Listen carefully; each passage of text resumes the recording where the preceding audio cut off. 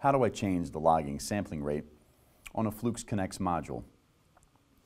You can begin the, the logging process simply by pressing the log button on the front of the module. But when you set up your parameters, you do it via the software. Simply open up the CNX 3000 software and begin the device discovery process.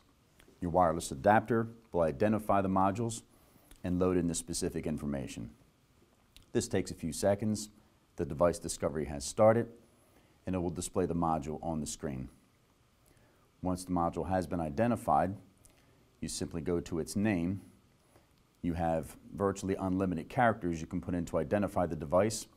Simply move over with your mouse, select it, and now you have two options here. You can have your logging interval, which you can set as low as one second, or you can do it up to an hour, or essentially 59 minutes and 59 seconds.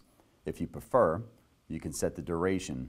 Here you can set it for days, hours, or minutes. Or if you want to have it sample continuously, you simply set it to zero hours, zero days, and zero minutes. To start logging, simply hit the Start Logging button, and now your device is in logging mode. Once you have sufficient data capture, all you can do is go into your Excel spreadsheet, download the data, and from here, you can either analyze the data, your min, max, and average, or another trick you can use is to grab a sample of the data and you can insert a graph. I'll just select a line graph and we can plot that on the screen.